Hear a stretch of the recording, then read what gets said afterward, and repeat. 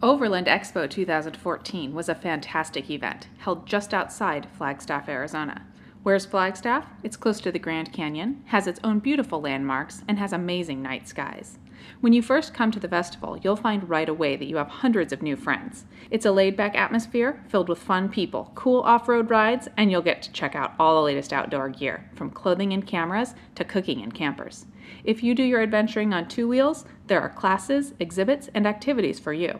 Four wheels? No problem either. Take your own vehicle on the off road course or drive one of the demonstration vehicles from Chrysler or Land Rover. I got to drive a Jeep, and when it came time to do the technical course, I let the representatives take the wheel while I asked them questions about their vehicles. The vendors were very friendly and showed off their latest and greatest gear. I talked to Replay XD, American Expedition Vehicles, and Global Expedition Vehicles about modified Jeeps, off road RVs, and cool action cameras. Worried about getting lost on your next adventure? DeLorme has you covered with their latest SOS technology.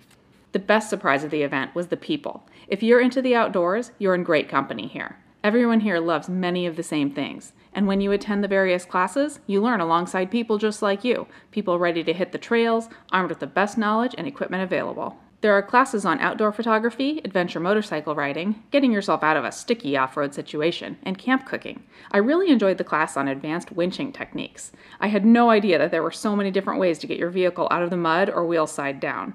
The people you're learning from are experts with decades of real experience and the right safety techniques to assure that a bump in the road, or worse, doesn't leave you stranded.